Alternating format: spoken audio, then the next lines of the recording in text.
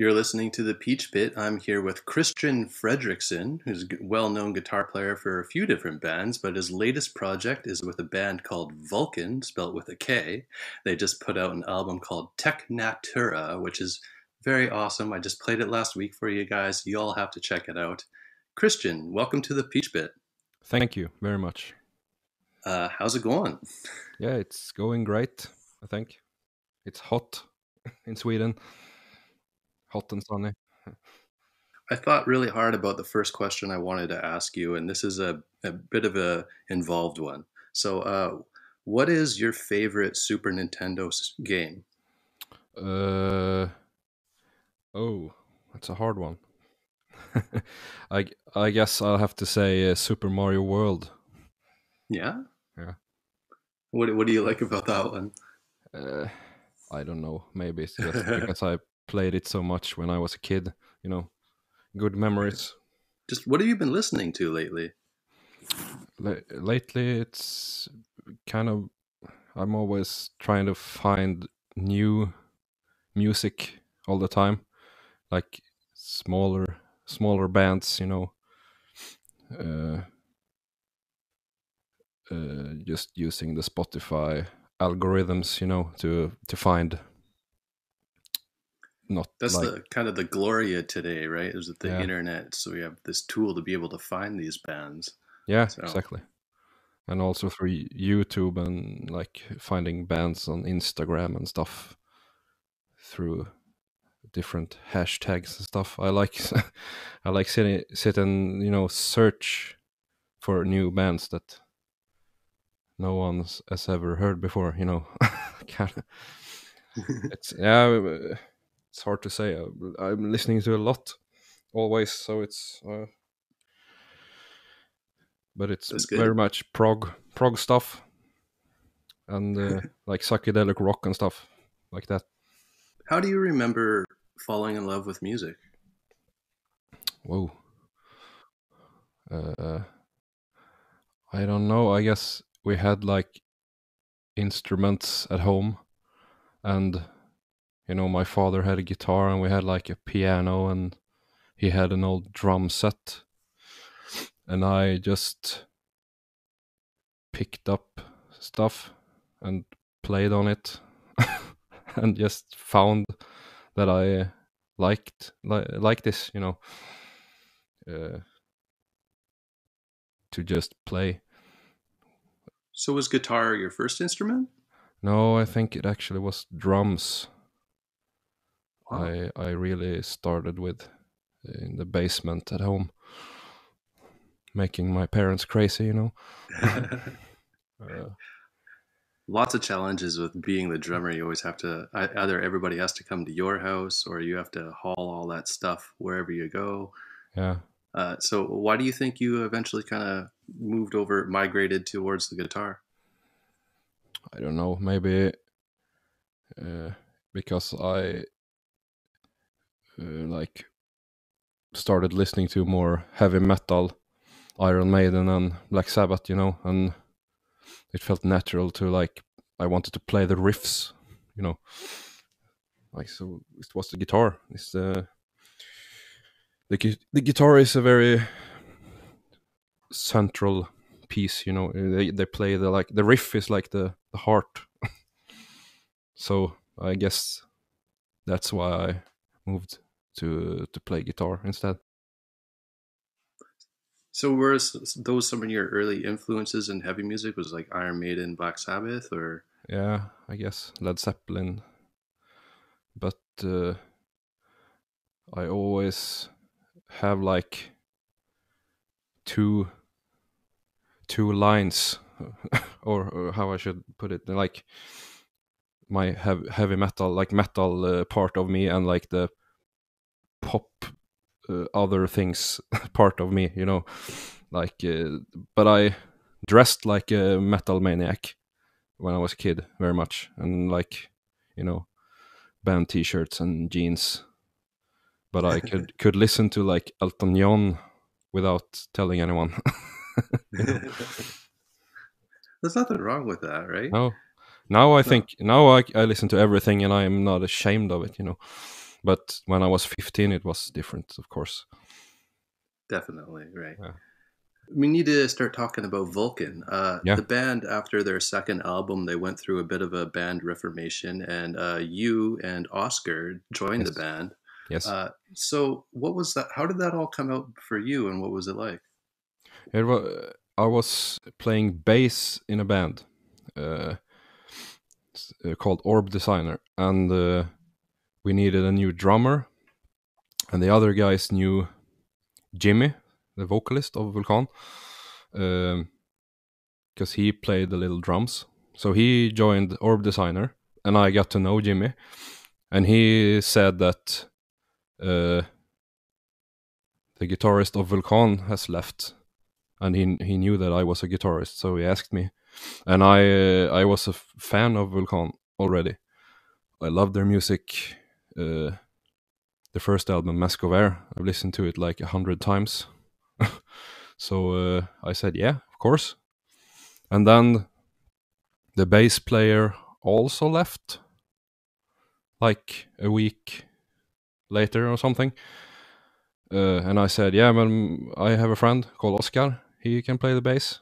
Uh, we, we- we've been playing like since we were teenagers in different bands and stuff.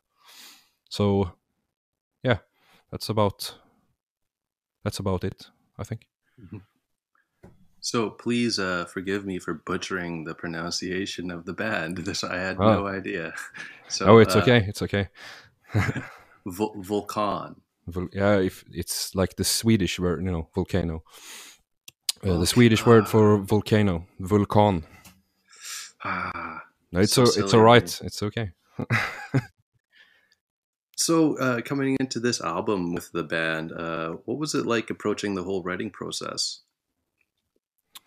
Yeah, we like uh, jammed a lot, and uh, uh, first of all, me and Oscar had to learn the old songs, of course, and then we got to come in, you know, to the like get get into the sound and the kind of style that they had already, and then we Right. could like jam and try to write new stuff.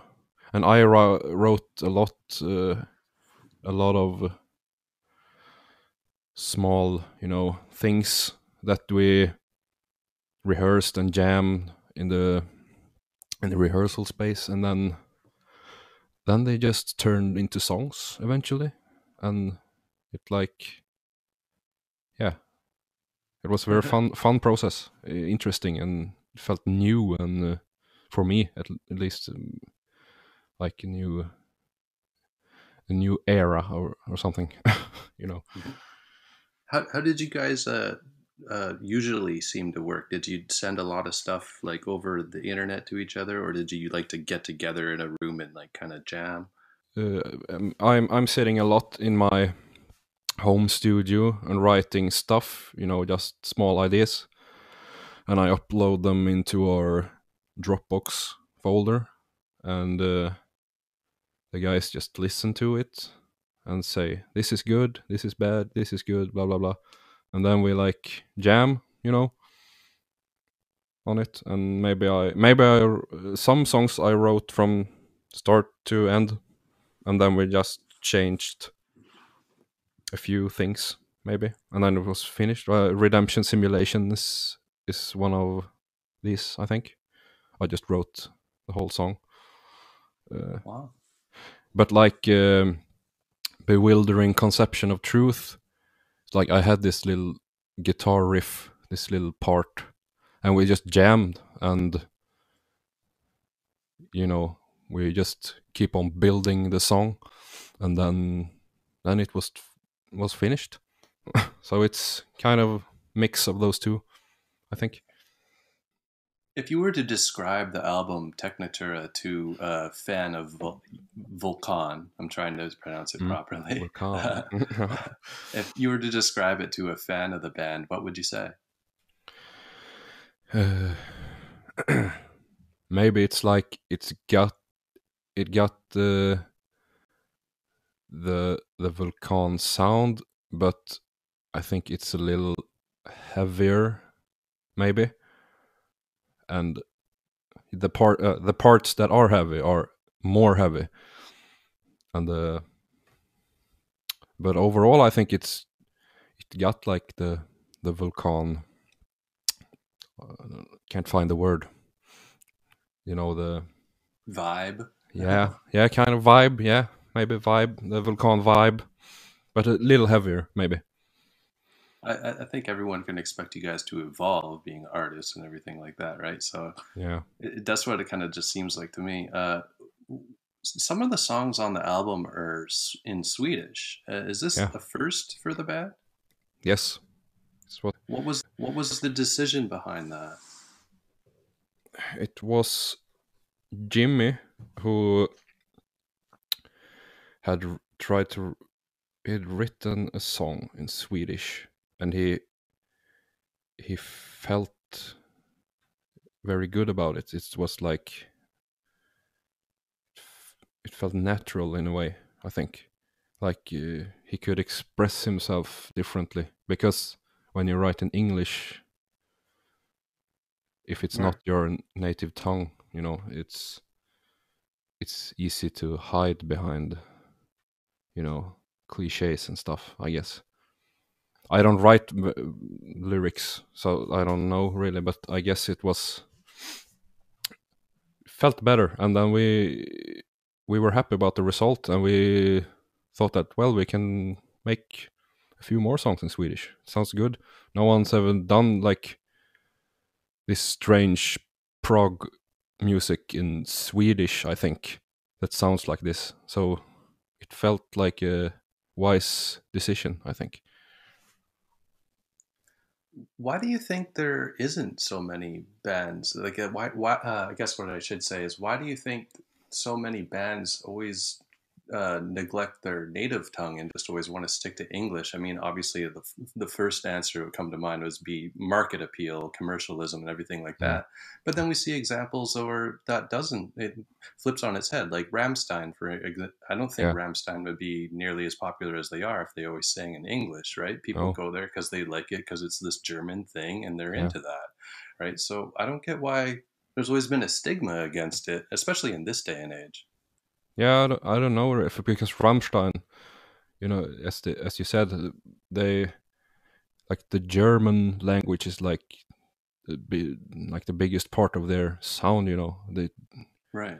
how they pronounce the words and how the words sounds with the music. I guess it's the same with Swedish because it for for you, I guess it sounds like very exotic or something. I I guess uh, Mhm. because you can't obviously understand what we're singing, but. Uh, I don't know. Maybe maybe people. I think people are afraid that they're not gonna like make it in outside of their country if they're singing in their native tongue. I guess.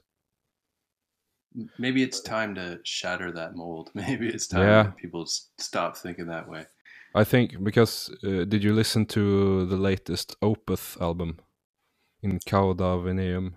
Yeah. Yeah. They did like the Swedish version and the English version. Right. Yeah. Exactly. Perfect. Perfect example. Right. Yeah. Because then you can like choose. That's uh, I think it was an excellent choice to make two versions of it. And uh, would have been a huge task. I mean, good for them. Exactly. What other hobbies do you got outside of music? Uh, I like to cook, uh, watch TV series, play Super Nintendo. what kind of cooking are you into? Uh, all kinds, you know. Yeah. I just like being in the kitchen, making food and listening to music. I just like it. I'm a just an amateur, you know, but I, I like it. I think it's fun. Great. I like it. Uh, one thing I'm, I really love about you is, I mean, and obviously following you on Instagram is you like finding tones. You're a bit of a tone hunter. Uh, yeah, yeah, a bit. When you find a tone, do you actually get like a satisfaction, like feeling like, yes, that's it, that's it exactly. You know, Mm. I have it dialed in perfect, or is it always like on the horizon? Ah, I don't. I don't know. May I just maybe I'm not that. Uh, uh, uh, how should I say it? Uh, I just if I if it feels good, then it is good, I guess, and I just play. I don't think as much as you know about. So it's like you're letting the gut do the work. Yeah, gut I feeling. think. Is there any advice that you would give to uh, an aspiring artist, someone who's just trying to chase their dreams and you know get their foot in the door, as as uh, so many of us are? What would you say to someone like that? Just do what feels natural just write a lot of music. I think if it if it is music that you want to to do of course but uh just do it and do it a lot i think. That's the best uh advice i can give i think. You guys, this is Christian Fredriksson from the band Vulkan, their album Technatura. Go out, check it out. Christian, thanks for taking time to talk to me and take care of yourself. thank you take care of you too Bye now. bye now